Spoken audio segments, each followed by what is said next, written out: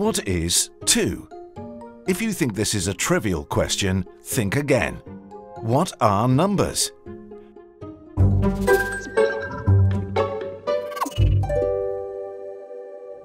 Take a moment to reflect on what this question means and how you would answer it.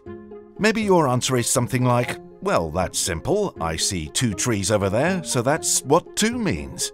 What you described can't be two itself, but merely the sight of two trees.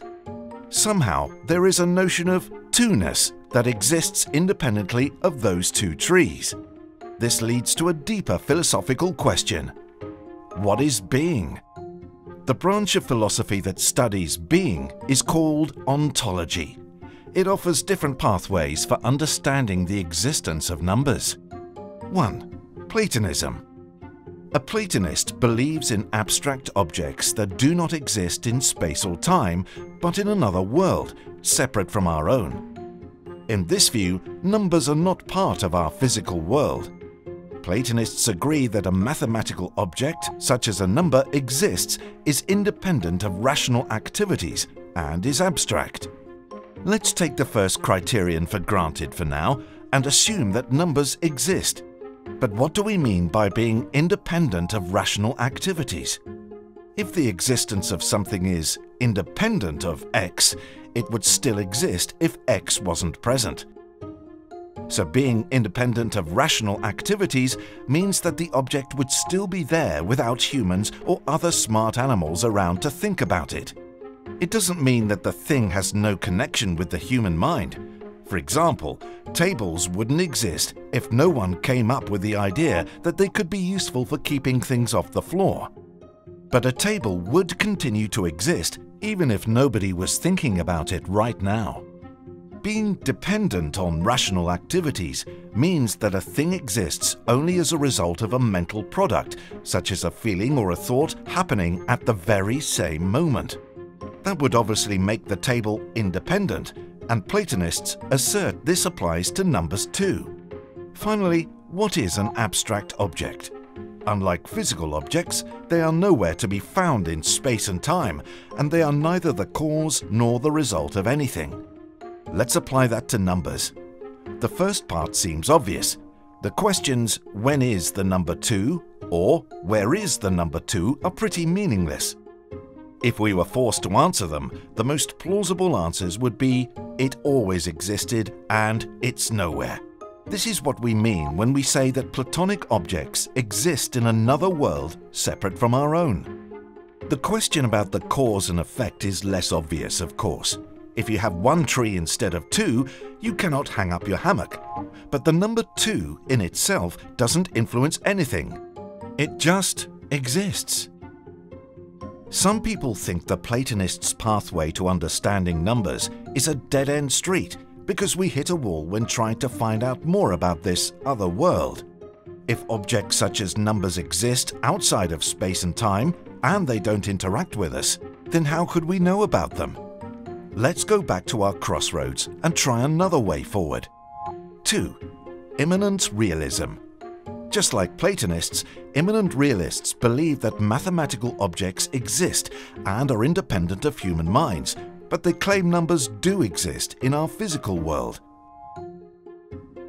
To an immanent realist, numbers are a form of property, such as redness or fullness. They say if you have two trees, the two-ness is a property of this set of trees. But this view has its own problems. We can see that a set of two trees is firmly rooted in reality, but what about an empty set? That's basically a collection of no trees. It exists as a mathematical value, but how does that little non-existent wood fit into our physical reality? This worldview also seems to lead back to our initial problem, a particular collection of two trees is not identical to the concept of two. Back to square one. Let's go in the opposite direction to see how far we get. 3. Fictionalism You guessed it, the fictionalist takes the radically opposed view. This school of number crunchers rejects the existence of abstract objects and therefore the existence of numbers altogether. But fictionists still need to count the trees they want to cut down before calling the gardener. So, when referring to numbers, what do they mean? To a fictionalist, an equation is not unlike a story. If it's correct, the story is coherent, but it holds no truth outside of this fictional world. It can be useful, but that doesn't make it a true story. This does not make for a satisfying worldview. Mathematics is the basis of theories about the universe that have led to pretty accurate results, so discarding it all as a nice story to tell kids triggers more questions than it answers. If mathematics itself is not true, how come it's so effective? And if it's not true, what about the laws of physics? Here we are back at our crossroads.